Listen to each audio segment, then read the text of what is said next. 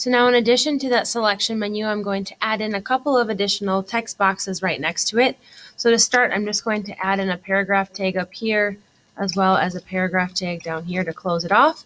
To put that around my selection menu, and then from here, I'm going to add in credit card number along with an input box with a name that's equal to credit card number, type that is equal to text box, and then from here I'll have a size that's equal to 16 and a max length that's equal to 24 simply because most credit cards have a number of digits that's equal to about 16.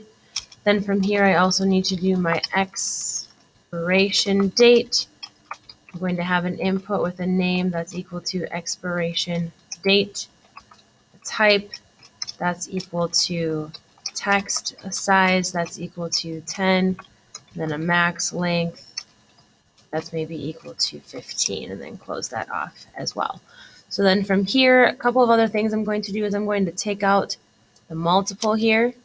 Don't need that in there anymore. Um, and I'm going to take out the selected here because we were just playing around with those options. So I want to make sure this is set back to our default. So here, if I run, you can now see I have my drop-down menu with my credit card number and my expiration date. So at this point, you should have at least this portion of your order form done. We'll take a break there to let you process all of those new input controls that you've recently added in. And you can work on worksheet 6B. So at this point, this is what you should see on your order form. And we'll actually dive in and start doing some radio buttons and some text area boxes within the next lesson.